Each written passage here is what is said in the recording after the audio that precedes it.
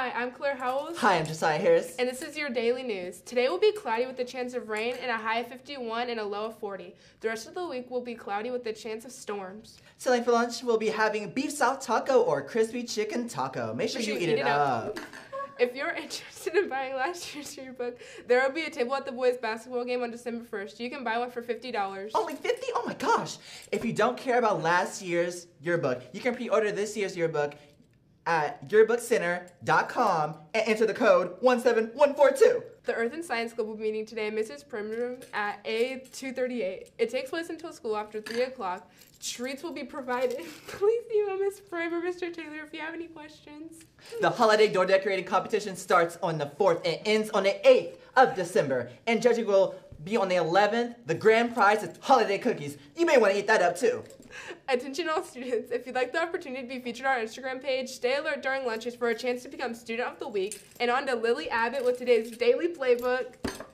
Thank you, Claire. I'm Lily Abbott with today's Daily Playbook. The boys' junior varsity and varsity basketball teams are playing a home game against Indiana.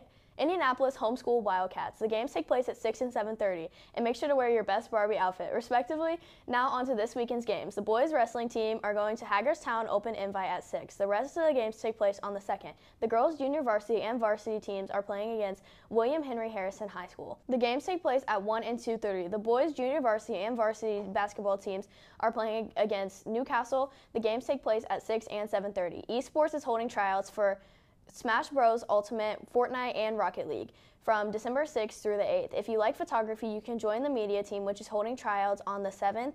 If you want to play Overwatch with our national award winning team, then try out on December 5th and 8th. If you have any questions, you can email Mr. Dick, Mr. Z, and Deacon Borden. For the first time ever, Anderson High School is holding their very own statewide Super Smash Bros. Ultimate Tournament. If you can register at start.gg by searching for Anderson Annihilation 2024. We will have food, games, prizes, colleges, and more. It will be an all day event that takes place January 27th, and so be prepared. If you have any questions, send us an email at ahsesports at acsc.net. We can't, we can't wait to see you there. If you want to know when these events start or if you want to stay up to date on sporting events, go to ahsathletics.net or go to anderson.indians page on Instagram. Make sure to follow our very own Instagram at ahs.tribecast.